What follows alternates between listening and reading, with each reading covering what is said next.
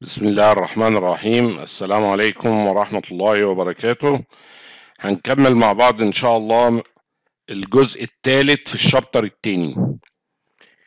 هنتكلم في ال chapter دوت أو في الجزء دوت من ال chapter إن شاء الله على ال error propagation لو أنا عندي دالة زي Z function من مجموعة متغيرات هما A و B و C وهكذا لغاية N. عشان أجيب ال standard deviation لل Z ديت أو للدالة ديت هعمل تفاضل جزئي لكل part من دول أو لكل variable من دول.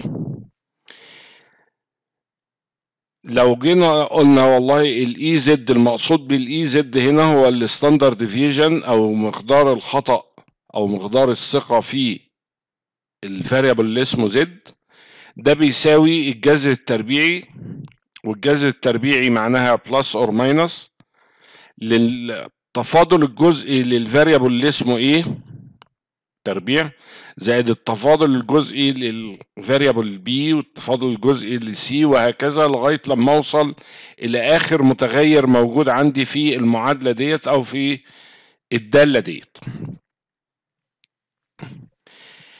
بيقول لي f by a function a أو partial a f partial a partial f partial b وهكذا are the, the same partial differentiation of the function.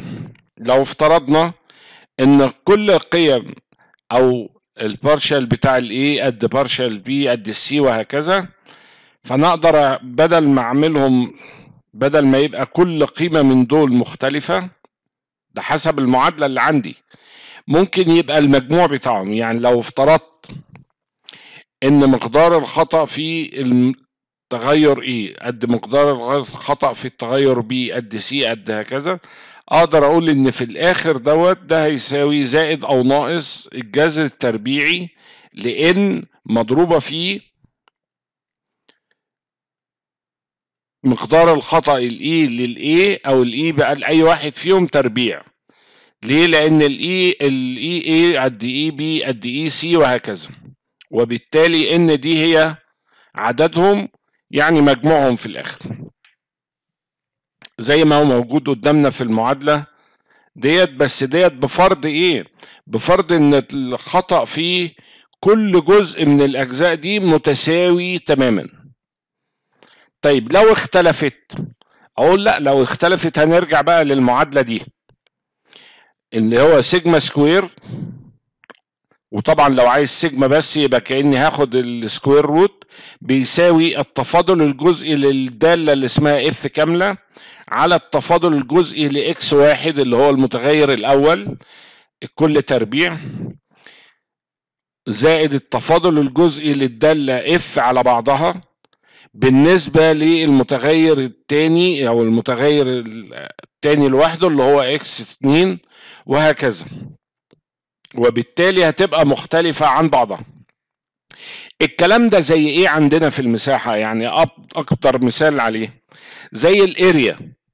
لو جيت قلت والله أنا جبت مساحة مستطيل قطعة أرض مستطيلة الشكل ابعادها هي ال A في ال B أما جيت قست ال A ده هي طلعت هفترض مثلا طلعت تساوي 123.17 زائد أو ناقص خمسة مليمتر.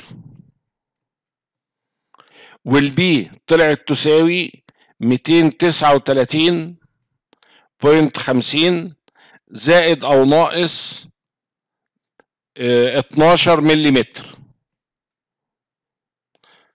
أقول الخطأ هنا عند ال B غير الخطأ عند ال A وبالتالي ما أقدرش أعمم على الاتنين. ما أقدرش أقول الاتنين زي بعض وأخد ان زي ده التاني. ده بالنسبة لل area طيب ال distance أقول لو أنا عندي مسافة ما بين نقطتين ال A وال B والمسافة دي قسمتها إلى مجموعة مسافات ما يستاهش كلها one shot ما يستاهش كلها مسافة واحدة. قست المسافة من A لواحد وبعدين من واحد لاتنين وبعدين من اتنين إلى تلاتة ومن تلاتة إلى B المسافة الأولانية دي كانت D واحد وليها ال standard error الخطأ بيها اللي هي سيجما واحد. ودي D اتنين وسيجما اتنين. دي D تلاتة وسيجما تلاتة. D أربعة وسيجما أربعة. يبقى معنى كده أقدر أطبق المعادلة ديت على إن إزاي أجيب المسافة AB كاملة بال standard deviation بتاعها بتطبيق القانون ده برضو استخدام تاني لنفس القانون لو أنا بستنتج ال coordinates أنا عشان أجيب ال coordinates النقطة زي ما اتفقنا أنا عندي نقطة A أهيت معروف إحداثياتها افترض ال E مثلا تساوي 1000 وال N تساوي 2000 وأنا عندي طول الضلع ده L وعارف انحرافه الفا وعايز أجيب إحداثيات نقطة B عايز أجيب لها ال east وال north. لما جيت قست المسافة إيه المسافة AB اللي هي L المسافة دي طلعت تساوي 520 متر زائد أو ناقص 3 سنتي.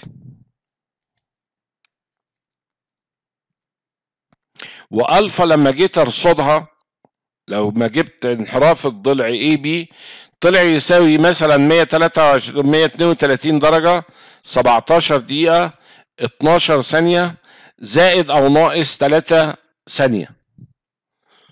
ال standard deviation هنا أو مقدار الخطأ أو مقدار الثقة في الزوايا هنا غير مقدار الثقة في الأطوال اللي, اللي إحنا قسناها وبالتالي الاختلاف هنا هيخليني أرجع للمعادلة دي اطبق فيها عشان أجيب. ال stadia اللي هي معظم الكتب بتسميها التاكيومترية برضو أطبق فيها نفس الكلام. طيب ال mathematical models بالنسبة لل area المساحة أبسط حاجة إحنا خدنا هنا القانون بتاع مساحة المستطيل. لو عندي الطول والعرض ال length وال width. وهنا ال coordinates زي ما اتفقنا delta ال X بتساوي المسافة مضروبة في sine ال bearing اللي هي ال sine alpha وال cosine alpha اللي هو بيديني الفرق. ال stadia والله لو لو الاستاديا المنظار أفقي تماما يبقى المسافة الأفقية ال horizontal distance بتساوي 100 مضروبة في ال I وال I اللي هي المسافة ما بين ال stadia hairs.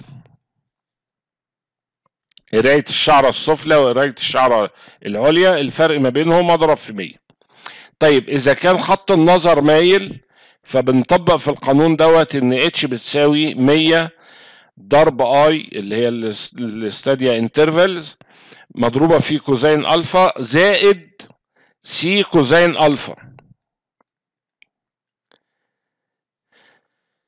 ال C هنا هو الثابت الإضافي و99% من الأجهزة المساحية بتعوض عن ال C ده هو ب zero. عشان كده هو مش مكتوب هنا إنما القانون الصح زائد C cosine alpha حيث C هو الثابت الإضافي. أما ال100 ده بيسموه الثابت التاكيومتري.